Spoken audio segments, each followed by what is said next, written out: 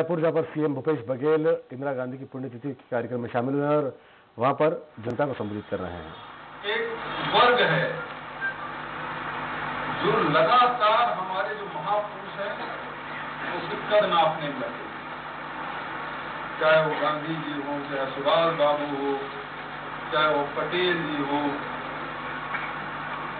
चाहे नेहरू जी हो, सब कद नाप रहे हैं। सब इन महापुरुषों को, महाविभूतियों को एक दूसरे से लड़ा भी रहे हैं। इनके बीच में कैसा सामंजस्य था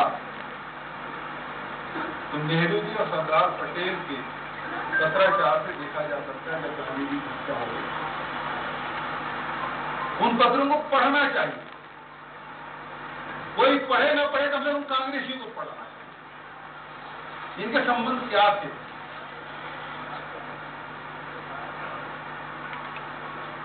दूसरा आज कल छोटा कर करना और बड़ा करना कौन लोग कर रहे हैं। जिनको आज़ादी से कोई लेना देना नहीं था। जो अंग्रेज़ों के साथ मिलकर सत्ता सुख भोग रहे थे, वो आज हमारे महापुरुषों के कद अपने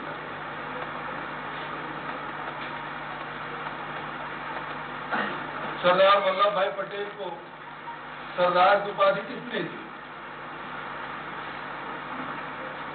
बताइए राजेंद्र भैया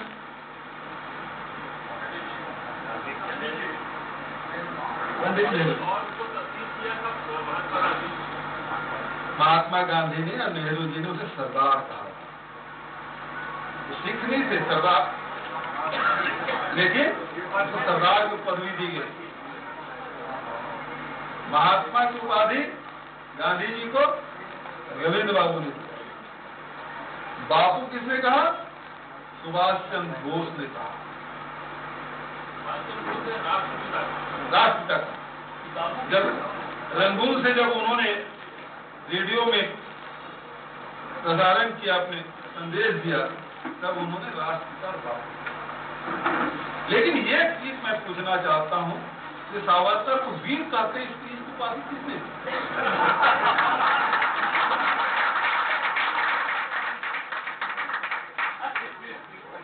वीर कैसे हो गए?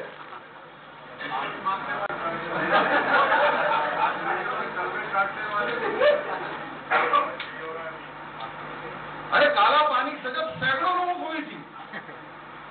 जिस समय दामोदर विनायक सावरकर जब जेल में थे, उस समय भी कम से कम 500 लोग थे। लेकिन किसी ने अंग्रेज़ों से माफ़ी नहीं मांगी अपने प्राणों की आहुति दे दी वही मर खप गए। लेकिन माफ़ी नहीं मांगी या छूटे भी तो देश आज़ाद होने के बाद। मुकदमा लड़ के जीत छूटे। लेकिन माफ़ी किसी ने नहीं मांगी। लेकिन बीस हाल करने बीस हाथ हो गए। मैं वही पूछ रहा हूँ उसको बीस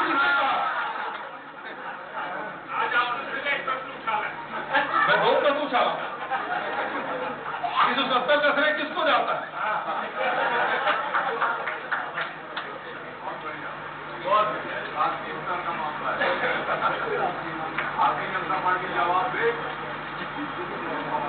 सरदार भगत सिंह जी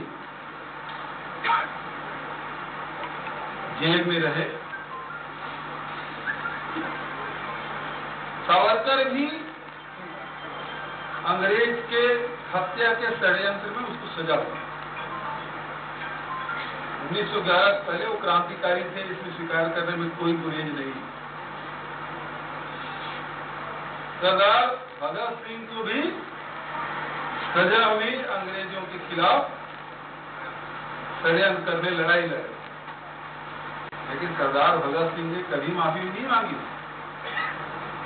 उसके वालिद ने प्रयास किया तो नाराज़ हो गए। और उन्होंने फांसी की फंदी को दिया सुभाष चंद्र बोस जो कांग्रेस के अध्यक्ष चुने गए थे, सरदार पटेल ही सबसे पहले व्यक्ति जिन्होंने विरोध किया। कि हम कांग्रेस में रिजोल्यूशन पास किए हैं, इसमें कोई हिंसा की बात नहीं होगी। कांग्रेस अहिंसा के मार्ग पे चलेगी, ये प्रस्ताव है। और इसके विपरीत सुभाष बाबू कहते हैं हिंसा का मार्ग हमको अपनाना चाहिए। महात्मा गांधी के पास जब गए, उन्होंने कहा रेजोल्यूशन तो आप लोगों ने पास किया, मैंने पास नहीं किया। ये आप लोगों ने, कांग्रेस कार्य समिति ने पास किया है। उसके हिसाब से आपको आचरण करना चाहिए। जब सुभाष चंद्र बोस ने महात्मा गांधी से पूछा, मुझे क्या करना चाहिए? आपने रेजोल्यूशन पास किया है, अब आपको तय करना क्या करना और तब जाके सुभाष बाबू इस्तीफा दिए क्यों?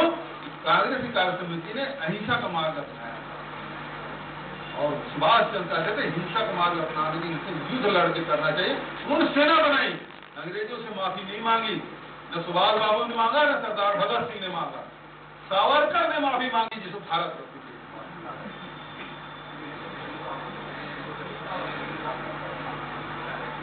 वीर इसको वीर किसने कहा? उन्होंने छद नाम से पुस्तक खुद लिखी, जिसके बारे में कहा जाता है कि उन्होंने वीर अपने आप को कहा जाता है। तो आज बड़ी चुनौती है हमारे सामने। हमारे नेताओं के महापुरुषों के कद को कम करने की कोशिश हो रही है। हमारे नेताओं को आपस में लड़ाने भिड़ाने का काम किया जा रहा है। ये बड़ी चुनौती है, ये वही चुनौती है जिसके बारे में सरदार पटेल ने कहा था, ये आरएसएस पे प्रतिबंध लगाते हुए। उन्होंने कहा था, ये देश के लिए ठीक नहीं है। उस पर प्रतिबंध लगाया था और आरएसएस के लोगों ने उन्हें माफ़ी मांगी और उसे सशर्त उसको फिर से काम करने का अवसर प्रदान किया गया था। तो यदि ये सरदार पटेल को मानते हैं, इनको कहा गया, केवल सांस्कृतिक कार्यक्रम करना है। हाँ तो पूरी राजनीति कर रहे हैं। यदि सरदार को पटेल को मानते हैं तो आर एस एस को नरेंद्र मोदी नीति से प्रतिबंध लगा देगा।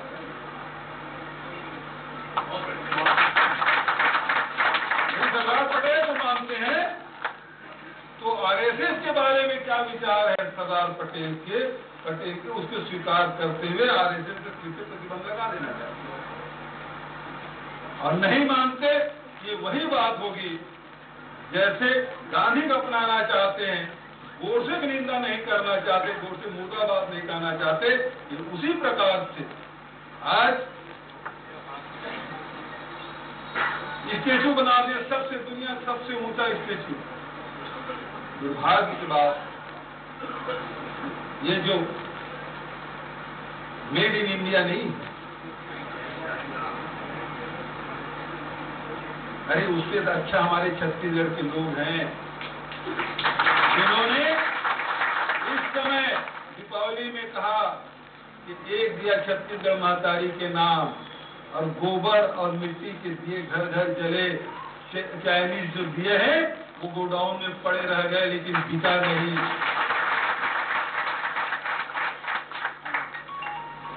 आपको स्टेशन बनाना था मेड इन इंडिया और पटेल को मानते हैं तो फिर आरएसएस इस प्रतिबंध लगा देना। आज जो चुनौती हमारे सामने है वो इन सांप्रदायिक ताकतों से लड़ने की चलिए, बात करते हैं ग्वालियर की। यहाँ पर